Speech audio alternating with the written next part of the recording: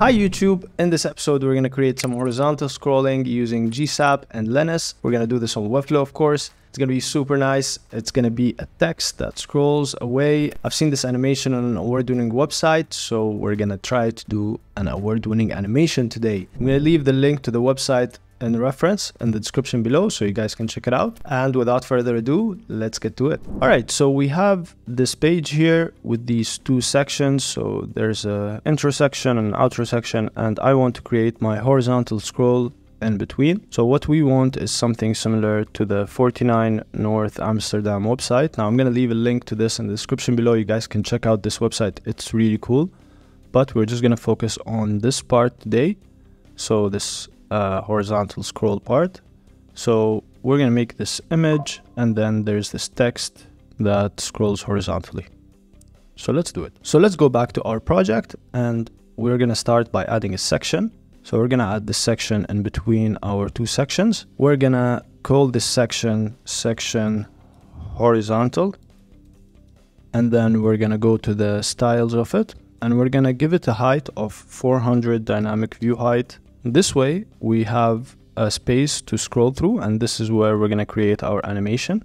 So let's go back to the top of it and let's go and make sure we select section horizontal and add another div block inside section horizontal. So we're going to click on A, we're going to go to div block and we're gonna add our first div block. Now the first div block is gonna be the screen. So this is what we will see while we scroll through the section horizontal, the 400 dynamic view height section. So let's call this, let's select it and go to the style and call this sticky screen. Now sticky screen will have a width of 100% and a height of 100 dynamic view height and it will be position sticky I will make it 0 from all sides. And since this is position sticky, the parent element needs to be position relative. So we'll go to the parent element, which is section horizontal, and we'll go to position, and we'll set it to relative. This way, section horizontal is set to relative, and the sticky screen is set to sticky. So now if we scroll through this, you see that the sticky screen element is always with us while we're scrolling. Now I'm scrolling, maybe you can't see it because it's all dark but uh, this way it's always with us until we scroll out of that section. So now let's continue and build the rest of this. So inside sticky screen, we're gonna add another div block. This div block will be called track. This div block is what we're gonna move. This is what we're gonna animate. So this will be height 100% and that's it for track. Now inside track, we'll go again to select it and add another div block inside track. And this will be track list. We'll call this track list. This will be position flex, direction horizontal, and the line will be X left and Y stretch. And this will also be 100% height. Now inside track list is where we're going to start adding our items. So the first one being the part image, the part image. And this will be with 60 dynamic view width. And if we go back to the design, you can see that this is almost 60% of the page. So we're gonna do the same. Now inside part image, we're gonna add an image. So I'm gonna add this image, perhaps this one.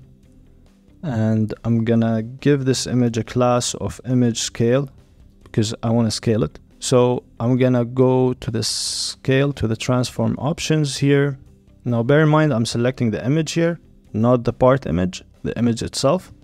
And then I go to transform and I'm gonna scale it to 1.5. Now as you can see it gets bigger and I'm gonna go back to my part image, the parent element, because I don't want it to overflow and I'm gonna go to part image and I'm gonna go to overflow, set it to hidden so that if the image scales inside, it doesn't overflow from the dimensions we set on part image. Now that we have part image ready, we can start setting up the text. So let's go back to track list and add another div block.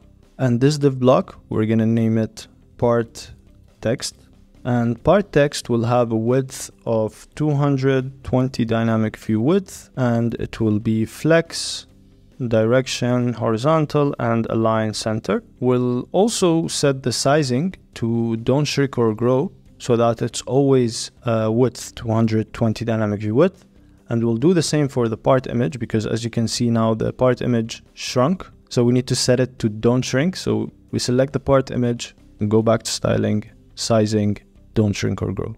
So now as you can see, both of them have the original width or the width that we set up for them here.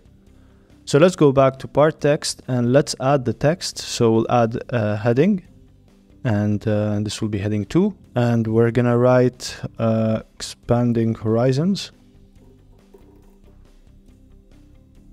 So we can check here. The text says expanding horizons.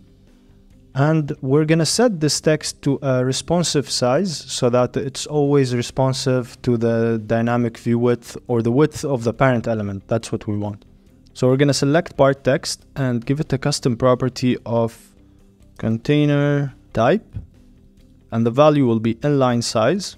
And this way we can set the value of the children text to CQW and that's a responsive size that is based on the container size. So let's let's see how that's done. So now that we have this container type inline size custom property set on part text, we can select the heading, the text inside, and go to the size of it, the typography font size. So we're gonna disconnect this one and we're gonna give it a custom size. So we'll go to custom and we'll set this to something like 15 CQW or actually set it to 10 CQW so that it's responsive. It's within the width of this parent element also, let's go back to part text and let's give it some padding. So let's give it some 5 frame padding, for example. Now to see this, what we're gonna do basically to animate, we're gonna animate the track. Now let's select the track and go to transform.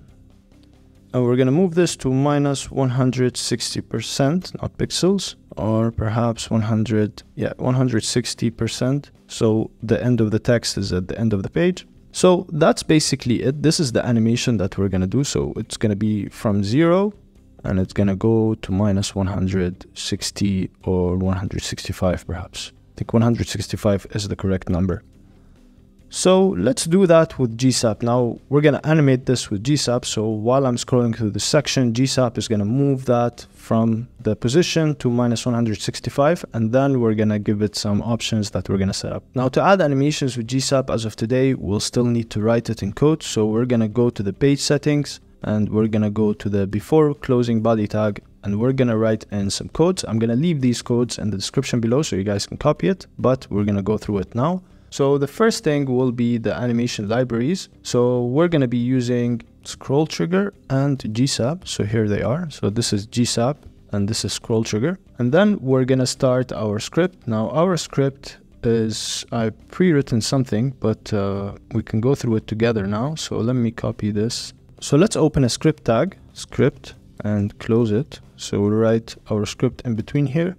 The first thing we're gonna call and GSAP scroll trigger. So this plugin, this is what we're gonna use to scroll basically. And then we're gonna set up a timeline. Our timeline will be scroll trigger. It will trigger one section horizontal, the one we set up is at the top of the page. So the top of it is at the top of the page. So when it starts here, and then when the bottom of it is at the bottom of the page. So when it ends, that's when the animation ends. Now inside this timeline, my animation will be pretty simple. So it's just timeline to my track. This is the, the part that we just saw move and this is what we're gonna do. So we're gonna move it to minus 165 actually. And we can set easing here, but uh, we're not gonna do that because we're gonna add smooth scrolling ourselves with Lenis afterwards. So let's save and let's publish and let's see how this looks like.